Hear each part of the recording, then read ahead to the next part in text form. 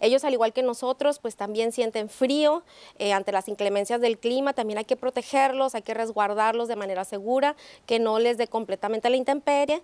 Eh, si por ahí está el perrito afuera que pues por alguna cuestión de espacio a lo mejor no lo puedes meter, asegurarte de ponerle algo que le cubra del, del sereno, del frío, que sus cobijas estén de preferencia eh, en alto unos 5 centímetros, eh, no al ras del, del, suelo, sino un poco alto, y para poderlos mantener más aislados, ¿no?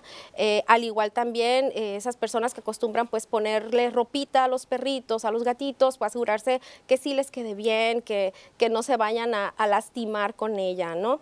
Y pues bueno, mantenerlos en la mejor posibilidad de lo posible pues dentro del, del, domicilio. Sabemos que todos están bañados, desparasitados, vacunados, porque es el mensaje que siempre hemos enviado, entonces que están en las mejores condiciones para poder permanecer dentro del domicilio. En el caso de la pirotecnia, si así fuera, pues ahora sí que amortiguar eh, lo más que se pueda el, el, ruido exterior, ¿no? El impacto de los, de los cohetes o en algunos casos hasta de las, de las balas que son detonadas, ¿no? Entonces, pues bueno, amortiguarlo con, con algún sonido, con el radio, eh, mantenerlos en un lugar seguro, que no estén cerca de ventanas. Eh, hay que asegurarse también si los metes dentro de una jaula, que no tenga ninguna, nada cerca con lo cual se pueda estrangular, que no haya cerca tampoco contactos de luz. Hay que verificar todas esas condiciones, hay que hacer un chequeo antes de dejar a, a los animalitos y en la medida de lo posible, pues mantenerlos supervisados, ¿no?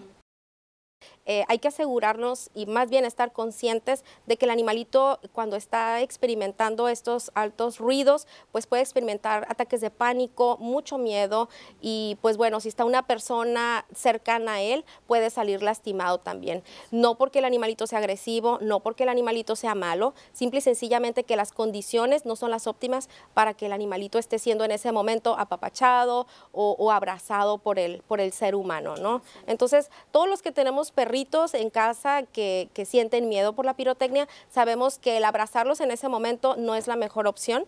Hay que mantenerlos seguros, amortiguar el, el, el sonido y, seguridad ante todo, fuera de, de, cualquier cosa que los pueda lastimar.